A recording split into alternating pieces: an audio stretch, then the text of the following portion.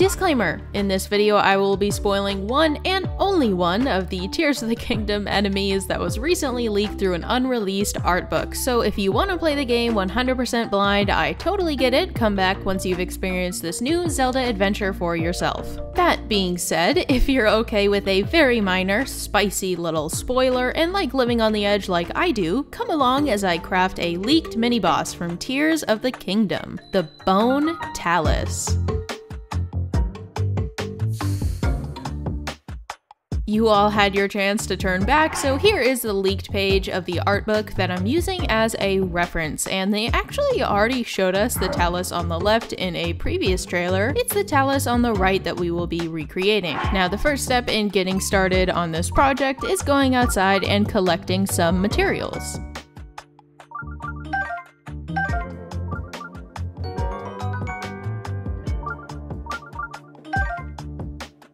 Once I've collected a good amount, I'm going to quickly go back inside because intimidating piano music began to play, and once I make it safely back inside, we're going to make a Breath of the Wild delicacy.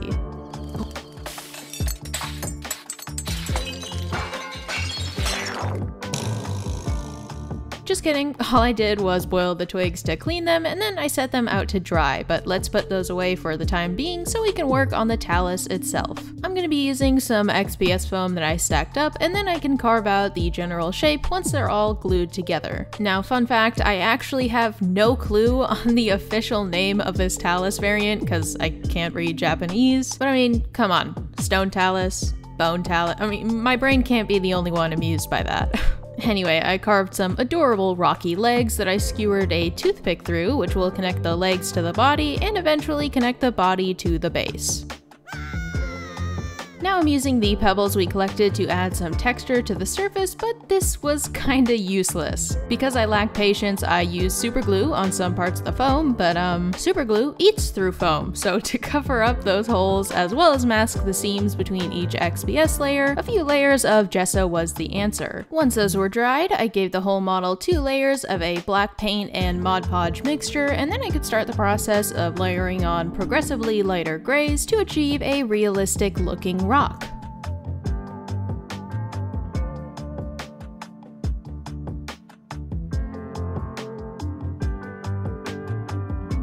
Now make sure you stick around until the end because I'm going to be sculpting four bokoblins and one will be a surprise for the final shots, but these four bokoblins drew some messy symbols all over this talus. So I quickly replicate that with some white paint, and once all that graffiti was dry, we could begin working on this big boy's coolest feature, the giant bones it has for arms. Now I brainstormed a lot of ways to make the bone as realistic as I could, and the best way I found was to just bake a very basic shape and then carve out all the details. Because the clay is already baked, when you carve into it, it leaves you with a very bone-like brittle texture, which I really liked, and I thought it added that wear and tear that this enemy would probably have after kicking your butt so many times. I glued all of the bones in, this big boy has two bones on his back, and to make the bones look extra extra extra realistic, I gave all of them a yellowish brown acrylic wash. Nice. Now that Talus the Rock Johnson is pretty much done, it's time to outfit it with all the platforms that the Bokoblins will use. I took a few artistic liberties with these platforms, which you'll see a little bit later, but the first thing we need to do is use some coffee stir sticks and popsicle sticks to make several platforms of questionable integrity. Underneath every platform, I'm gluing the twigs we collected to the edges and trying to find twigs that fit the most naturally underneath each side.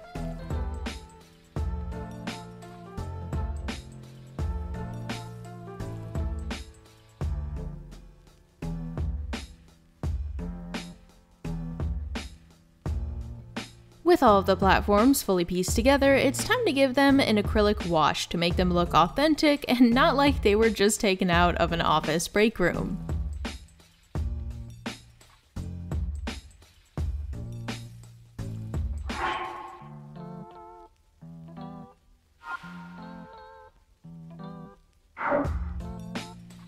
Once they were all dry, I could then attach them to my lovely geological child with a few dabs of super glue. Now there's one thing missing for these platforms, and to fix that, it's time to use up every stick within a 5 mile radius. To make all of the wooden stakes that protect the bottom of the platforms, I cut all of the twigs into similarly sized pieces and used an X-Acto knife to create a point at the bottom. Once I did this a million gajillion times, I then used superglue to secure them into clusters and wrap some twine around them as the final detail.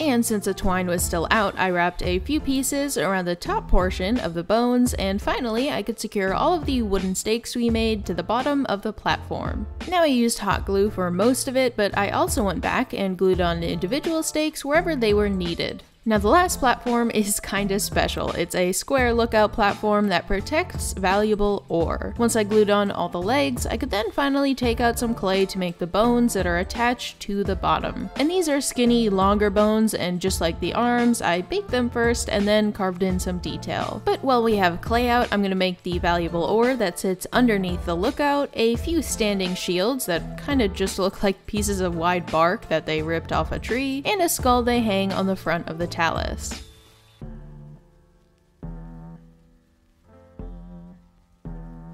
Next up are some exploding barrels, which no Bokoblin camp could be complete without. I used some red clay to make the body, and once it was baked to retain a wooden texture, I then used some black clay to add the top and bottom of the barrels. I also made a handful of teeth that will glue onto the corners of our platforms and detailed them like I did all of the other bones. With everything baked, I'm going to paint all of the clay pieces in their respective colors and patterns. For the ore, I just painted it black and used some metallic gold on the tips of the rock as well as a dry brush to accentuate all the angles. The bark shields got a few layers of different browns and also got some Bokoblin graffiti on them.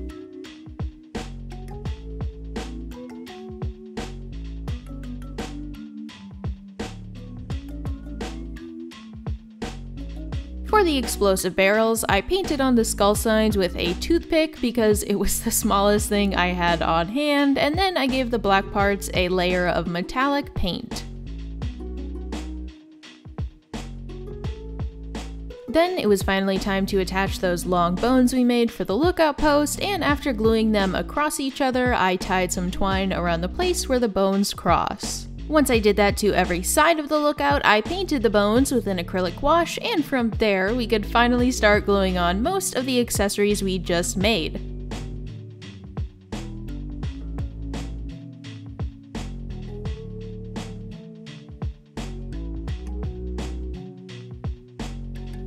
I also realized that the bark shields needed some twine wrapped around the bottom, so I made sure to do that, and the last accessory I needed to glue on was the skull. With all of that in place, now I can finally show you the artistic liberties I ended up taking with this project. Firstly, and this is kind of basic, but it isn't in the official design, was a little staircase behind the shield at the front. The second and far more exciting one was a suspension bridge on the back of the talus. I figured adding these not only made everything way but actually made sense practically so the Bokoblins can easily move from platform to platform. With all of the groundwork done for the talus, it's time to do the groundwork for the ground.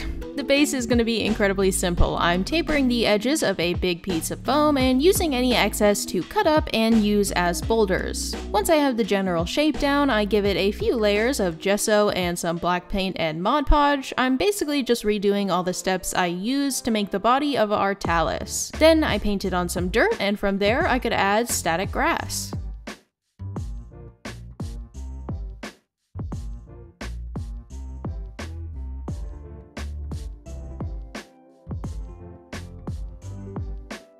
Once the grass was all filled in, I glued in some clumps of just the yellow static grass to kind of act as a break from all the green. And the last detail before we can start sculpting our bokoblins is adding the red flags all around the talus. Now I have this used strip of fabric that I used back when I made Fang and Bone from Breath of the Wild, so since it's dirty I figured I could cut it up and reuse it for this project.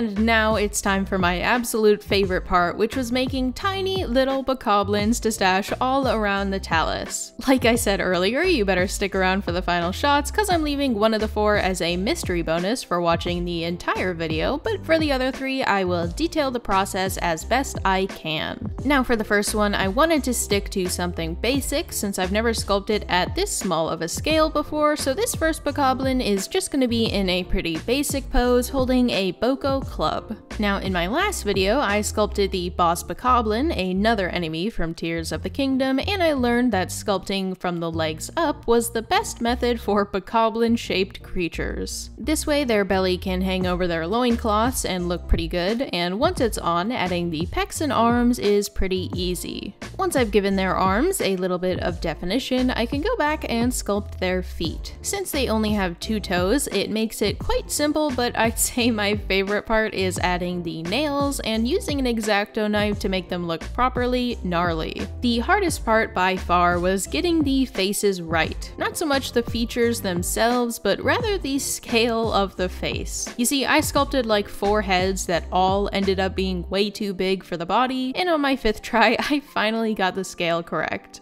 To make sure all the heads ended up consistent in size, I made four different mouths that were all the same size which I could then build on top of to add different facial expressions for all of my bokoblins. Here you can really see the size difference and the fifth try finally looked correct when I placed it on the body. Then I can blend in the head to his neck and before I can finish him I have to make a miniature Boko club. I used a toothpick and some aluminum foil to make it as light as possible and then I covered it all in brown clay. At the top I added the rings to make it look like it used to be a tree and then I textured it and used some chalk pastels to highlight that texture. After adding some last minute shoulder blades, I baked him, secured the Boko club to his hands, and then added ears and his fingernails, which I detailed just like I did his toenails. Then I could paint on whatever details were left like the inside of his ears, as well as some pupils.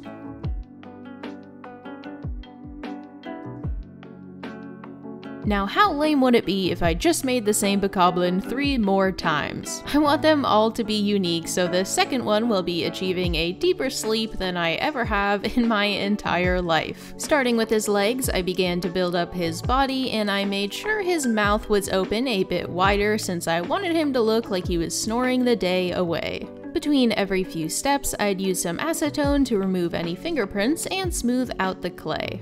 Of course, I couldn't forget an adorable little belly button, and for the fingers, I found it a lot easier to apply the nails after I baked him since the fingers are very small and delicate. And now, onto our last bokoblin that I will be detailing. This one ended up being my absolute favorite. I really wanted one to be shooting an arrow, so this little guy is the archer of the group, which means I got to make the world's tiniest spiked Boko bow. It also meant the position of his hands was a bit harder to get right since they're wrapped around two different parts of the bow, but it ended up looking so cute. I also didn't forget to make him squint one of his eyes, since I know you have to do that when shooting a bow, and from there I added the rest of his details like his horn, ears, and fingernails. The last thing I made for him was a tiny bomb arrow from a toothpick, which I cannot stop fawning over, but with that attached, the only thing left to do is glue all of our bokoblins into their respective positions.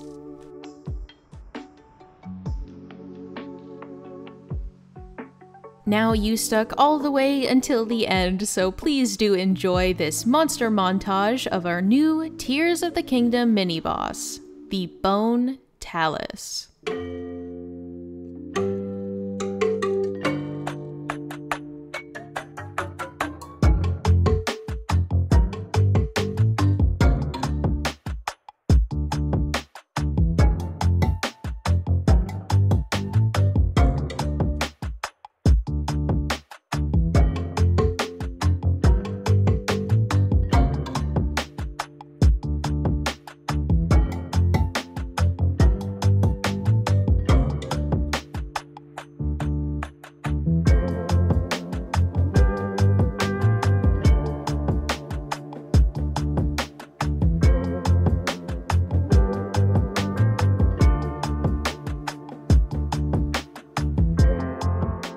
And of course, I always have to say thank you to my wonderful patrons, the amazing DIYers, our two new crafters, the Hedgehog and Avery Kirkpatrick, as well as my glorious artificer, Josh K. So if you want an official title like DIYer or Crafter, as well as all of these amazing benefits, consider supporting me over on Patreon. Anyways, thank you so much for watching. Make sure you check out my other Zelda videos to tide yourself over as best you can until Tears of the Kingdom comes out. Let me know if you have any suggestions for future crafts, and with that, I will see you next time.